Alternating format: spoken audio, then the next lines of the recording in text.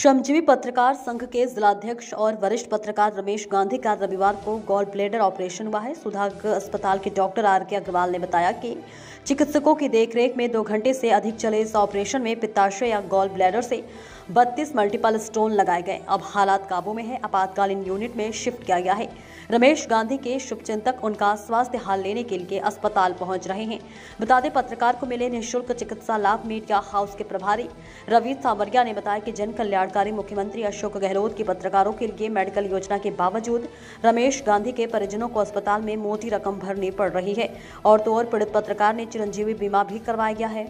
अस्पताल प्रबंधन कोई रियायत या लाभ देने को तैयार नहीं है। इस मामले में All India Media Association, Kota committee और पत्रकार प्रेस परिषद एवं वेब पत्रकार क्लब ऑफ़ इंडिया द्वारा अस्पताल प्रबंधन एवं चिकित्सा प्रभारी राजस्थान को सहयोग पत्र लिखा गया है। इसके जवाब में मुख्यमंत्री अशोक गहलोत के विशेष अधिकारी फारूक अफरीदी ने दूरभाष पर परिजनों से बात की, जिसमें मदद के लिए मुख्यमंत्री द्वारा पत्र और चिकित्सा लाभ निःशुल्क दिलाए जाने की बात कही गई है।